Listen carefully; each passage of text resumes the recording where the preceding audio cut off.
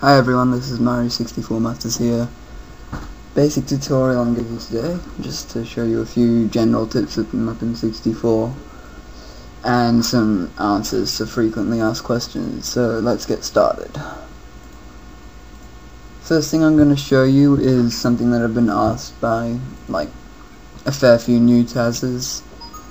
First you want to get your emulator up and what this is is continuing a TAS that you've already made. And this is really easy like basic stuff. You'll get the hang of it. So here's just the TAS I've made. And let's play it back. You all know how to do this I'm assuming. If you don't go to Bobmario511's tutorial. He has a good tutorial on using movement I believe. Alright. So here's my TAS and then it's that's it. Okay, so at this stage I might be thinking that I don't want to wall kick on that left wall there. So I may think, oh no, how am I going to continue this TAS once I've stopped recording? But the answer is very simple. Play back your TAS.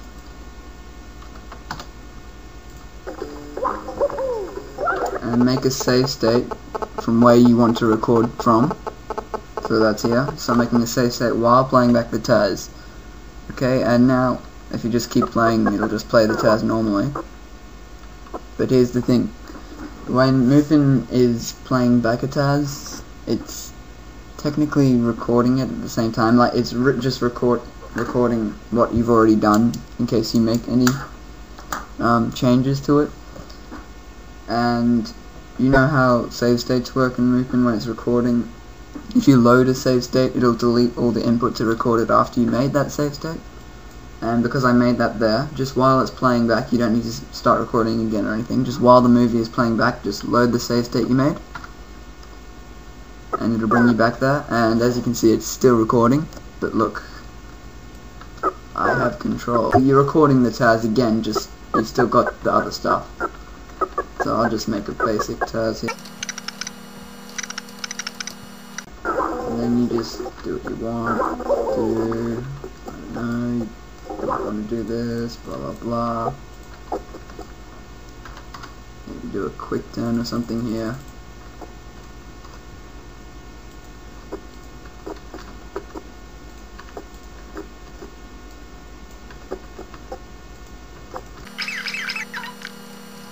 Then you're done. Basically just finish anything. And then just another good tip here, when you finish your towers, just let it record over a little bit, just because Mupen generally tends to round the frames to like the nearest 50 or something, so it might cut out what you finished. Anyway, so now that I've, you just stop the movie recording, and now here's the results.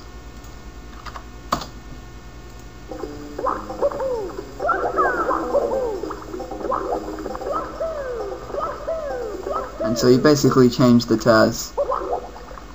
And it's in the easiest way possible. And you're done.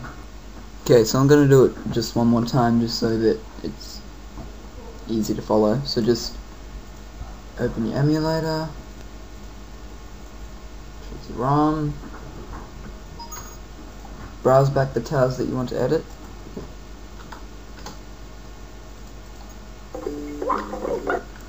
Play it back to the point that you want to continue it from.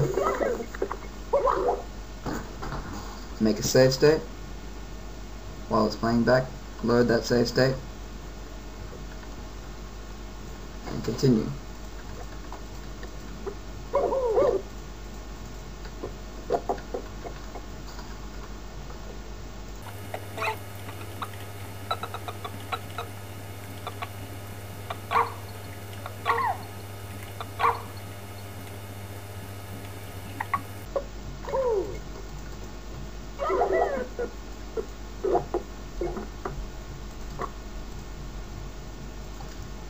then to finish your task, let it record over 100 frames or 200 frames should be fine. Stop it, play it back.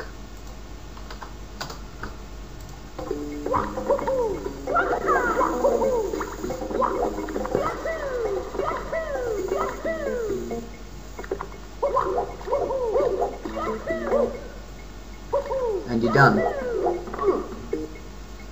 And now I'm going to show you how to replace an ST file that goes with the TAS with a different ST. Like, okay, so just for example, in my free run 3,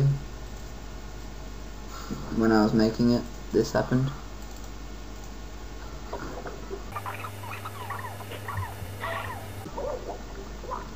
Okay, when I originally made the TAS, I was going from a file that didn't have the metal cap block unlocked, and I wanted to use that for my TAS, so what you need to do is change the ST file. Now the ST file is this thing, .st. It'll have the exact same name as the M64 file, except with .st instead of .m64. Okay?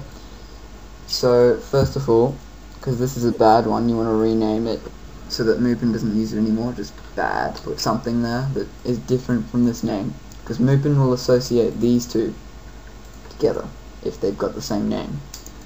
Now that it hasn't got the same name, now that it hasn't got the same name as the M64, you can make a new ST. Yay! Okay, now to make a new ST, just find a file that you know has the properties you want, like I had this file here. I know this works because it's I've got this is from a file that I had the metal cap block unlocked. So I've basically loaded this by loading you just go emulation load as. Okay now I want to make an, this ST so you go emulation save as. And then you want to save it with the exact same name as the M64 file.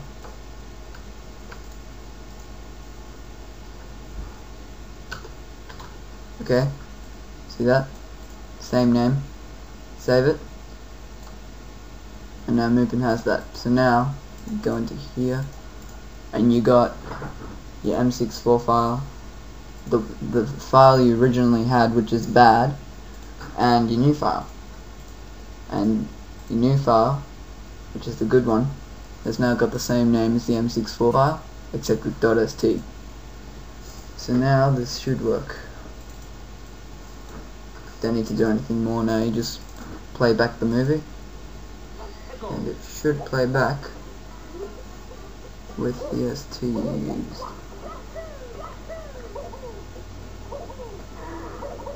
There you go. Metal cap block is unlocked and the free run continues as if it was normal. Just one other thing you should know when you um are making an ST sometimes like I'll just make one here Sometimes when you make an ST, like just go.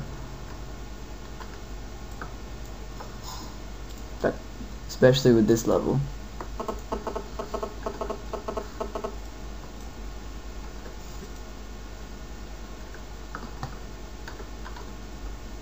Okay, when you make one, sometimes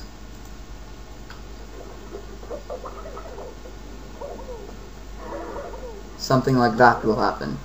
Basically, luck has changed, and if that happens, it can be like frustrating. But basically, enter, come out of the painting and enter it again, and make new STs until you get one that works. And yeah, because luck changes with the game generally, but luck won't change after you've entered the painting, so you need to re-enter the painting and make another ST. Okay?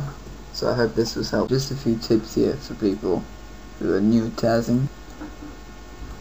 Um, while you're making a TAS, mainly for Super Mario 64, but this will work for other ROMs, I guess, just for things like a dive, to get up from a dive, you know that you can use two different buttons to do the same thing. You can use both A and B. So instead of doing this, like what I'm, instead of instead of counting frames and trial and error basically.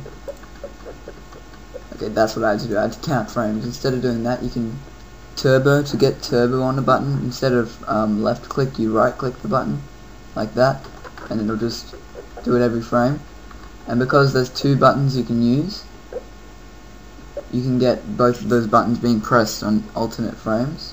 So you turbo, so you go turbo, frame advance, turbo on the other button, and then you've got both buttons being pressed on basically every frame, so you can always have it perfectly, and this isn't just for dives and stuff, this can also work for like selecting a star in a painting, just for example, like, I'll just go start A, and he'll, he'll just select it as soon as he possibly can, and you know it's the first possible frame, it's just, just a few shortcuts in TASing.